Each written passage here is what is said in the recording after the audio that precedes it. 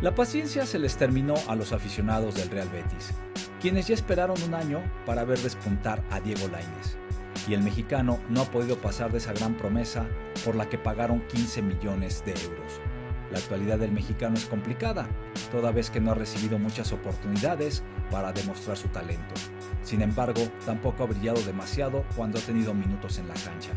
Tras el partido de la Copa del Rey frente al Portugalete de la tercera división, el mexicano saltó de titular y pese a que los béticos golearon, su actuación fue por demás discreta y los comentarios en su contra no se dejaron esperar, en donde se cuestiona su bajo nivel comparado por su alto costo y que no es para jugar en la Liga de España. Muchos exigen su salida del club en el presente mercado de fichajes, así que el futuro de Diego Lainez es por demás incierto.